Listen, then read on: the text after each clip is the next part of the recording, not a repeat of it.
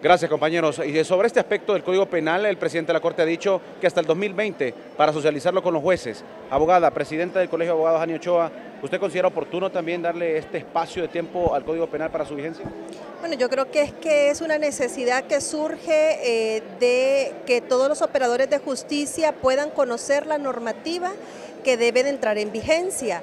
No hemos tenido la oportunidad, o por lo menos no se ha logrado eh, visualizar que fiscales, defensores públicos, jueces y magistrados tengan la oportunidad eh, de capacitarse a nivel nacional.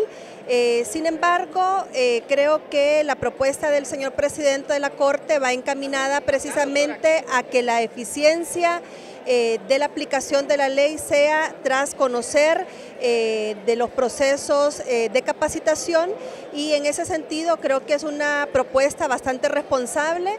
El Colegio de Abogados ha estado capacitando precisamente por eso a todos los profesionales que se dedican al ejercicio privado de la profesión. A nivel nacional el colegio a través del centro de capacitación ha estado brindando, sin embargo, creemos que si hay mayor tiempo para el análisis, para el estudio, la aplicación eh, será más efectiva eh, para garantía de los procesos.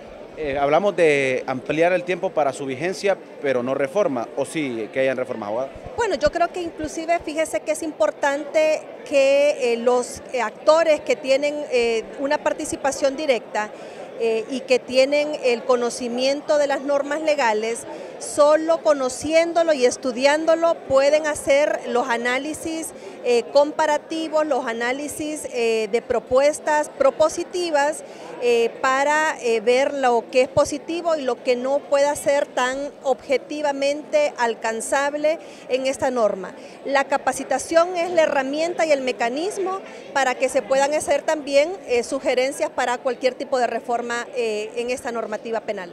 Muy bien, la abogada Ani Ochoa, quien es supervisora general del Poder Judicial y por supuesto abogada y presidente del Colegio de Abogados. Mi informe compañeros a esta hora.